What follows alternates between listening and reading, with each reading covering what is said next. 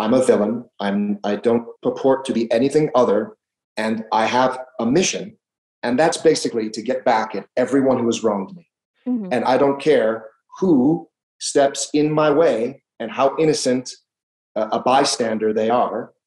Um, they're going to get run over because my mission for revenge is more important than anything else.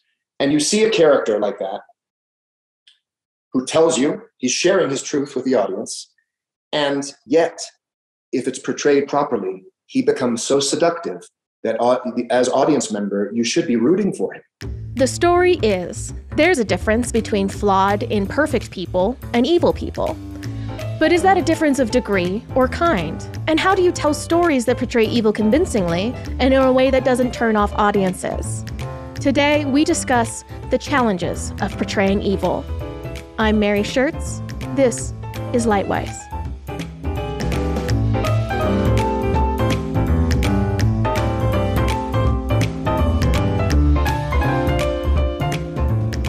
This is part two of a two part series. In a companion episode, we discuss the challenges of portraying holiness. So be sure to check that out also, wherever you're consuming this podcast. Elijah Alexander is an American film and TV actor who has been in the business for nearly 30 years. He stars in the role of Atticus, a secret agent for Caesar, in The Chosen, Angel Studios' hit TV show about the life of Jesus Christ. Here's a clip of Elijah from The Chosen. Do you know who the Zealots are? The extremists. They reject the They're martyrs with a persecution complex. Arrest him, we'll only be adding fuel. Torture him, he gets a seat closer to his God. No, I want to kill him. Petronius in the act.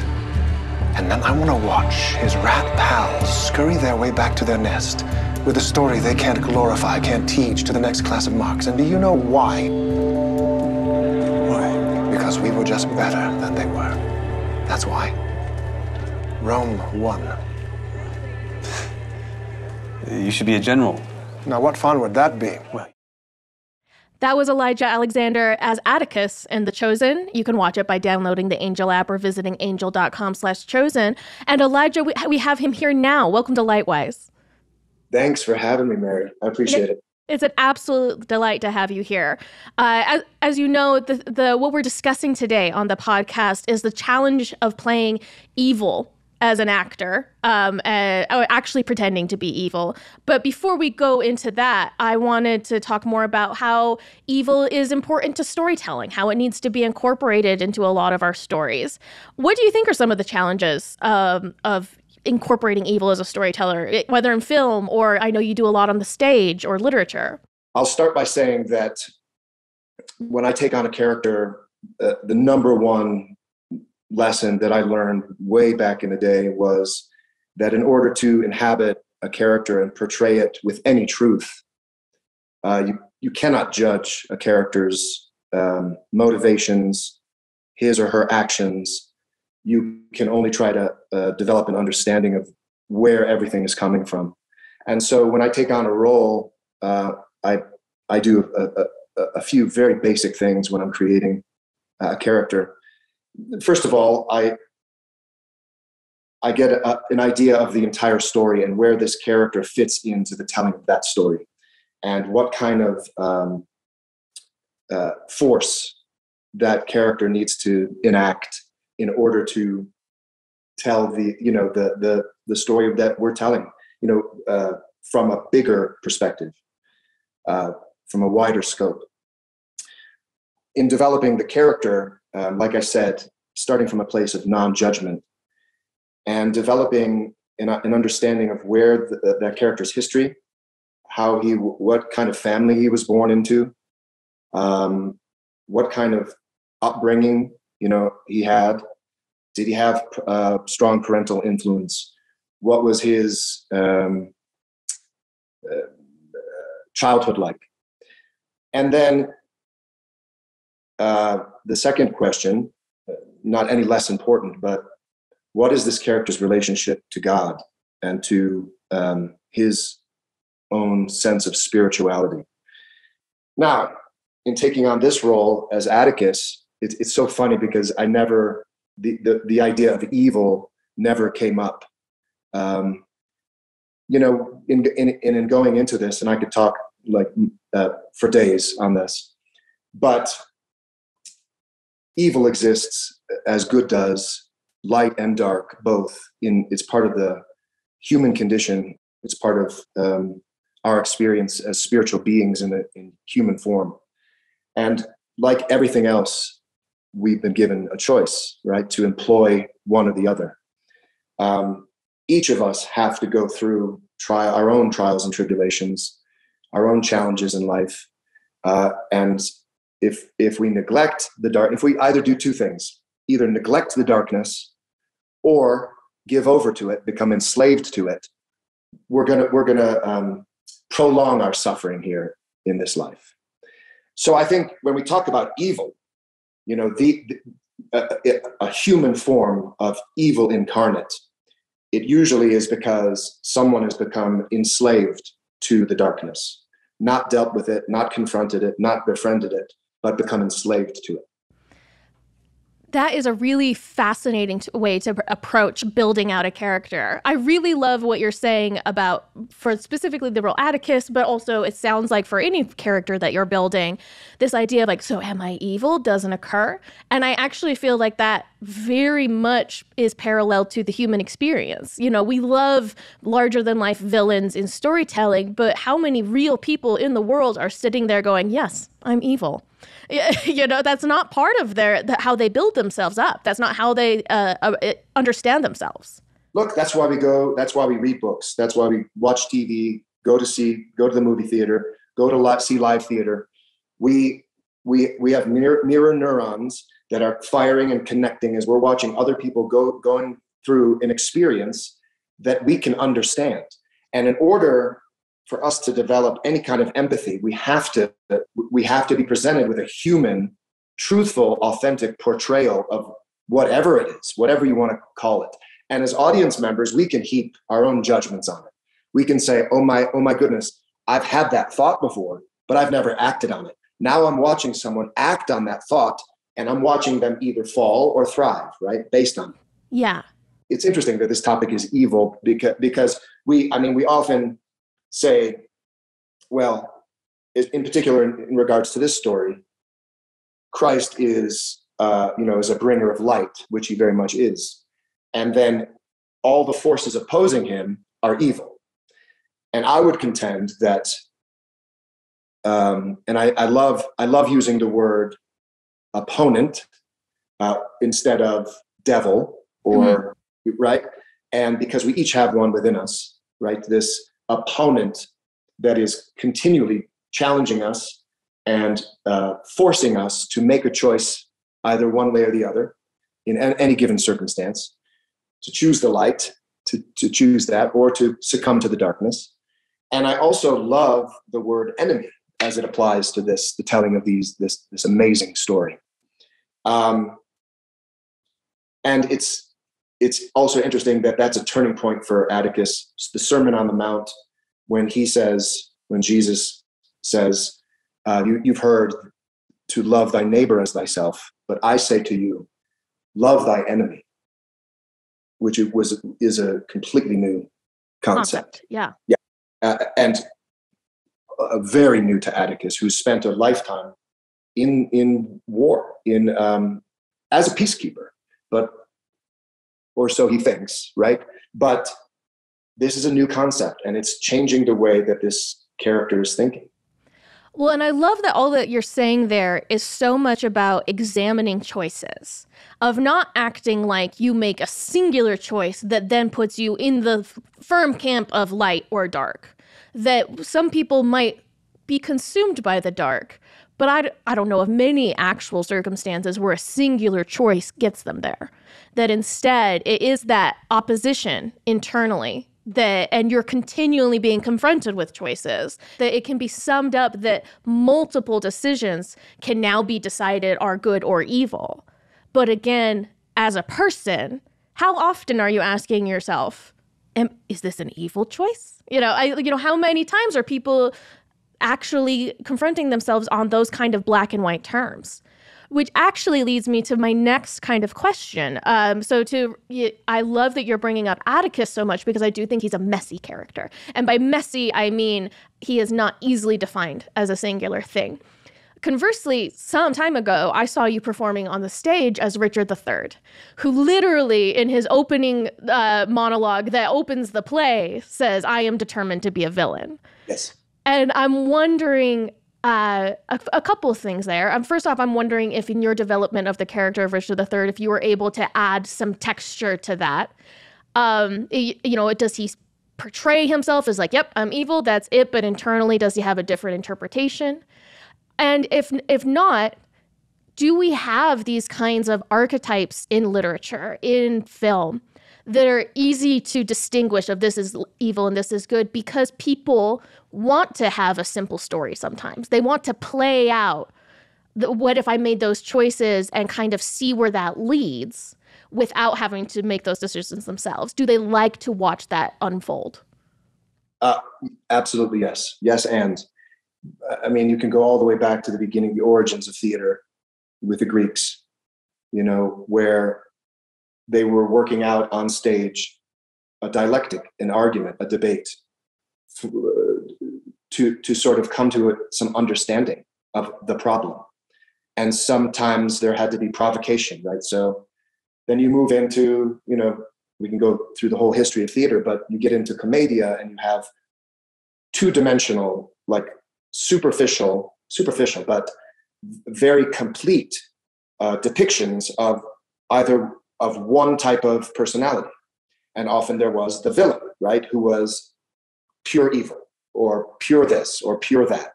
You had, um, you know, a, a, character representing the fool, who was always um, chastising, ridiculing, uh, but also the wisest one. I was about to say, the one who can cut through all of the stories we tell ourselves of who we are and instead say, actually, who you are is this. This is the, the truth of what you're doing. And I think we come to the truth through storytelling, uh, through telling each other stories, through identifying with certain ones, attributing meaning to, to stories, to give ourselves. Um, our purpose to to sort of reinforce our purpose in life. Um, I think it is. Uh, you bring up Richard III. Here's a character that does from the get go tell the audience, "I'm a villain. I'm. I don't purport to be anything other, and I have a mission, and that's basically to get back at everyone who has wronged me. Mm-hmm. And I don't care who steps in my way and how innocent uh, a bystander they are. Um, they're going to get run over because my mission for revenge is more important than anything else. And you see a character like that who tells you he's sharing his truth with the audience, and yet, if it's portrayed properly, he becomes so seductive that as audience member, you should be rooting for him, even when he does the most heinous things. And that's where this idea of having a visceral experience, you know, is can be really informative because you're watching someone devolve and you know that's not the right choice to make, but you're watching him follow through with that choice and fall as a as a as a consequence. He and yet me as an actor playing Richard III, an utter villain, I have to create a human depiction of that of that character. I can't come on, twirl my mustache, and uh, you know, broad stroke it. I have to fill in why he's doing it. And so I did just as, as I do for every character. I went through the backstory. And I mean, there's lots of actual research, you know, yeah. on Richard III in history. He was a, an actual character who was a younger brother. He was neglected as a child. Now, all of that, we all have our own story. It doesn't excuse morally reprehensible behavior. Um, but we can learn from that, you know, as, as audience members. Ultimately, ultimately, the audience is disgusted with Richard III yeah. and, can, and can identify behavior that is inappropriate, that is criminal, that is shameful. But not until we watch it play out, right? We have to see it play out on stage not in real life, and then we can learn something from it and we can attribute meaning to it. I still had to make that make him a fully fleshed human being. Otherwise, it's not going to be not going to be believable. Also, he is. I will say this: that's a character that has lost his sense of empathy. He's a sociopath, clearly, lost his connection with other human beings, and is morally reprehensible. The thing about that is that Shakespeare created a character that knows that and owns it, and you watch him fall because he he fall he must. You yes. Know? He, yes, I, I do agree. Shakespeare doesn't neglect the consequences of those choices. I think Shakespeare also wanted to give us a full cathartic experience of someone so knowingly making the wrong choices. Yes. He doesn't shy away from the consequences, but he, like you mentioned, he wants you to understand and at times be seduced by that course of action. Because I'd like to think most of us have moments where we could get back at the people we feel have wronged us and then choose not to. But that doesn't mean that opposition inside doesn't want to see what that would look like if we made that different choice. Right. So, what a gift. We get to see someone live those choices out on stage or on the screen, and we can learn from that, and it can inform the decisions we make for ourselves. We all have vengeful thoughts, we all have jealousies and insecurities and small thoughts, petty thoughts um, that don't employ our higher good, our best, you know, that don't always cause us to use best practice as a principle. But through the art of storytelling, we're given the gift of uh, information, just more information, right? And having an experience as if we went through it ourselves. I mean, that's the whole point. That's that's why the human performative uh, art form is so important, so vital to our culture, to our society, to developing empathy. In some ways, performance, um, especially of those types of characters, pushes the viewer to say, okay, but what would I do in that circumstance? You know, maybe someone who has has floated for a bit, hasn't had massive challenges come their way for a while, and you could almost say their morality muscles would uh, atrophy without engaging with story, without having those thought exercises over and over again of like, what are my lines? What do I consider good? What do I consider evil? What do I consider forgivable? And what do I consider the the absolute condemnation of a character? Wow, that's beautifully said. You beautifully said. Yeah, it's uh, and that's exactly that's exactly it. And you know, now I'm in a in a in in a similar way. Uh, I've been grappling with what's what Atticus is confronted with on a daily, moment to moment basis, which is new and part of a part of an awakening. And and I like that your character is also so couched with being confronted with with Jesus, who in this story and also uh, Jesus is perceived as a, a pure force for good. And like, how do you encounter that? Like, how do you respond to that? which he was and and it, it's amazing to see as a, as Elijah to to be on set and to have be in, intimately involved with the, the that messaging being disseminated, um, being out in the world, and how it immediately affects this character, like you said, who's been in, on one tack for his entire career. Um, but also as Elijah the actor, it's been a very moving, awakening experience for me. Uh, and when it's happening simultaneously with a character you're portraying, there's nothing better as an actor to have enjoy that kind of alignment. And and to kind of to that alignment, uh, you had mentioned at the top of this interview, and it's been in my head ever since about as you build any character, you're considering their spirituality not necessarily saying their spirituality in a Christian or a Jewish or a Muslim or a Hindu perspective, but rather in a do I believe there's a higher power? Do I believe there are uh, forces beyond my ability that assert themselves in the world? And with that belief, either yes, I do believe that, or no, I reject all of that, or I'm really not certain. All of that creates a pretty rich area to grapple with ideas like do would this character consider their choices evil yeah uh, it, it, it, I mean, you said the word, and it's belief. It, it really jumps out at me, and faith. And so, investigating a character's what he he believes, his belief system, and so then you've got to get into the psychology and go back and, and say what were this character's limiting beliefs, the things that were holding him back Ooh, from I being like from from being free, from being ha- being a full expression of a human being on this walking this earth during this time in our lives. And then faith. What does that person have faith in?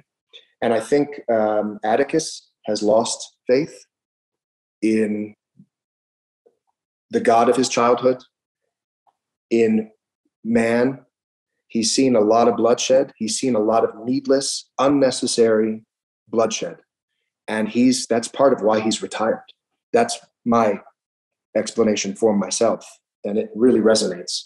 So he, he comes back onto the scene, and what is truly inspiring and utterly sort of moves him forward that cu- his curiosity, his natural curiosity, is because he's witnessing people with such conviction, such deep, deeply rooted faith. And it's Jesus' faith in something beyond, in God, in his Father, in the Father of us all, right? As a son of man, as a son of God, wh- whatever he is and whatever he's purporting to be, it's really piques Atticus's curiosity. Not only that, but Jesus' belief in man. And so, and then his the disciples' belief belief in him. And through him, their belief, their um, whether it's a reinvestment in their own personal faith and belief, or a resurgence of it, or an emergence of it, uh, uh, the, the beginnings of it, you know. Um, I think we're all born in that place, and you know, many of us have to spend a lifetime sometimes remembering who we were as that pure spiritual being of light when we were born. But Atticus is witnessing firsthand a deeply rooted um, system of belief and faith, not only in God, in something other than us, bigger than us, but also in the in our fellow man. And I think that blows Atticus' mind because I think he has lost faith in man. One of the many amazing things that Jesus had to teach was he he he he sought out the controversy, right?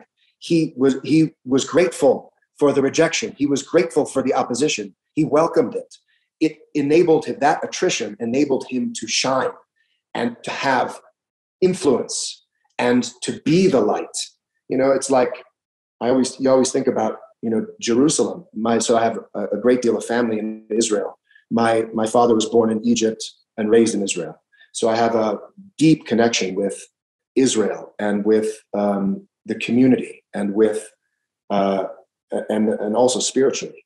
It's I don't know if you've ever been to Jerusalem, but it is remarkable that three of the major world religions come together, converge in one place, and you can feel. I mean, it's on. You can feel the energy of uh, ecstatic spirituality and often religiosity, and it's there's conflict, but there's in the center of it there is um, a light that comes, you know, and yet you look at it and it's surrounded by it. Darkness, surrounded by challenge, surrounded by um, opposition. And there's a lot of heat coming out of that place. I feel like that's what Jesus was in, and he was willingly in it, you know. And Atticus represents a force that's op- opposition, right? Because Atticus, in particular, isn't trying to to um, destroy Jesus. He's try- trying to protect the people from a revolution, right? So, you know, looked at differently, you can look at Atticus and say, well, he's uh, the right hand of Caesar, and he's all about maintaining control, and he's he's out for Jesus and the disciples. And I would just tell you that's not true. From my perspective, I'm trying to avoid to protect and serve. We're setting up. Yes, the realm of Rome, Roman Empire is first priority, but I want it within that realm. I want to keep the streets safe. that's why Atticus goes after the zealotry because they're aggressively um, and violently. Their tactics are aggressive and violent, and they're trying to bring about um, the end of the disciples, and they all have their own um, uh, um, motivation and objectives, right? Atticus speaks on behalf of Rome, but I, but his objective is peace, not war. He's trying to avoid it. However, he is an opposing force because I mean he does he does tell him, look, preach all you want, but do it outside of the city because you're stirring up unrest. And unrest is going to lead to civil war, and civil war is going to lead to revolution, and that's going to be bad for everybody. And I think in the course of that, he's listening to the messaging and he's witnessing miracles. And he's uh, his faith in man is becoming is being restored. You know, I set my intention before every show. Give me the strength equal and greater than my opportunity, and let me help to alleviate suffering by identifying it, by moving into it, by embracing it, and uh, alleviate suffering in others because they're going to watch what the consequences are of these particular set of actions. And you touched on this earlier too, which was great. It's all about choice. So when we're talking about evil and good, we're talking about not one choice, but a series of choices that define us as human beings. But ultimately, it's not our thoughts, right? Thoughts come and go, they don't define us if we don't identify with them. Not our words, although we have to be careful with what we say because words influence. Yes. Words have great influence and we have a finite number of words that we're going to say in this lifetime. So we might as well be careful with them in the way we choose them, right? And they have power. Words have power. Abracadabra, abracadabra is Aramaic for I create as I speak. So yeah, I mean it's like and this is this is stuff I teach classes in communication and the power of the spoken word. And so I, I, I always bring that up. I understand the power of it more so now than I ever did so I try to be conscious and careful with my words. But ultimately, it's what we do that defines us as human beings. It's the choices we make over the course of time. And not one choice, but a series of choices that define us. It's the sum of those choices. And so, you know, we can we can look at someone who continually chooses to destroy, to uh, to embrace and employ the dark the darkness to lash out, give way to anger instead of embracing it, channeling it effectively, because it can be anger can be an effective emotion if it's placed properly. But again, it's all about choice, and then and that gives us great freedom, right? I mean, because we can we can actually also choose what to think. Yeah.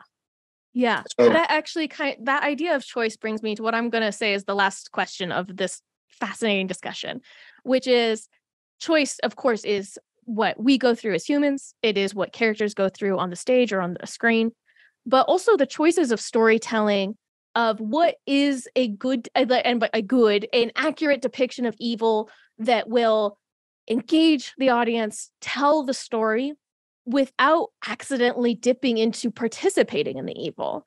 An example I would use is the film Sound of Freedom that's currently in theaters mm. is about child trafficking. It's a horrendous, dark, you can't find a speck of light in that choice. And I thought the filmmakers did a good job of acknowledging the weight and the evil of that practice, but without choosing to accidentally make you a participant by showing too mm. much, by dwelling too much in those moments. And I'm wondering if you have any thoughts about what that line is for portraying evil or and by that we really mean people that are continually making choices that lead to evil ends yeah. without encouraging the viewer to like that or to accidentally through viewership feel like they have been a part of that act i mean that's that's about our artistry and craftsmanship in the way we tell the story you know but but yeah i saw the movie it was um i think amazingly done uh and um, really moving. But I think it's because, and uh, by the way, well done. I know it's yeah. just.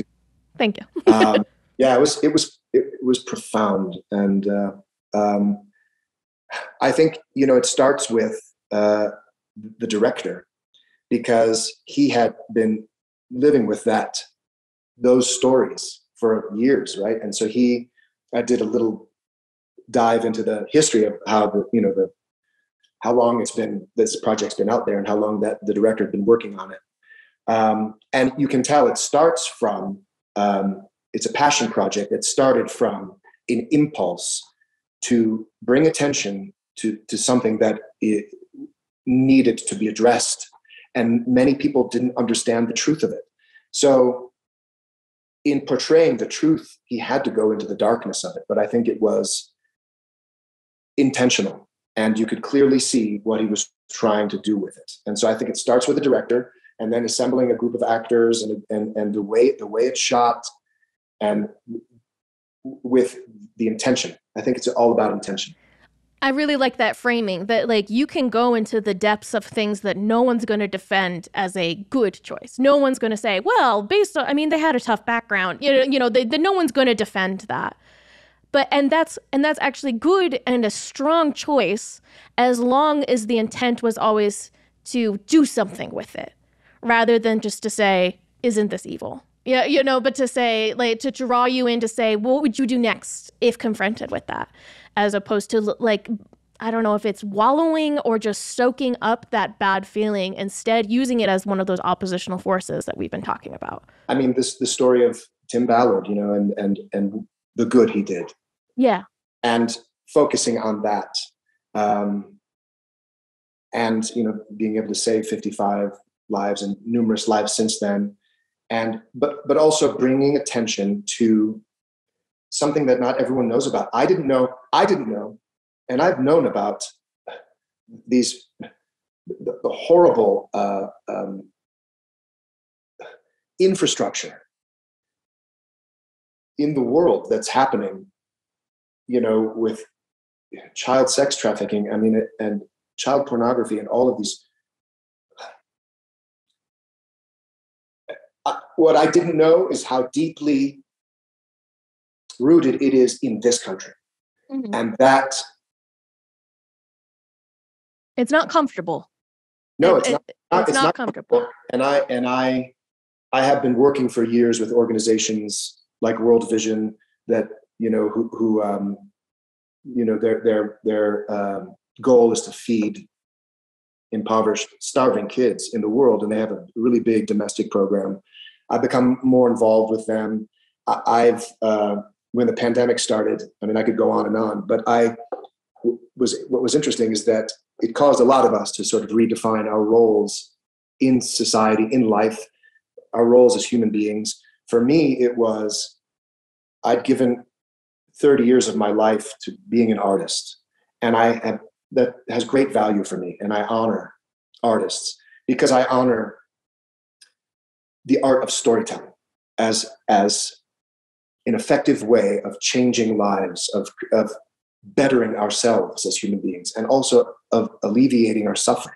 And I think the Sound of Freedom brings attention to a, a, a real problem and forces people to have a reaction, uh, to have a response to it, and hopefully to be a part of changing something that is in drastic need of being changed. And ho- hopefully to help contribute to alleviating the suffering of, that's happening so, right next door to us, to all of us.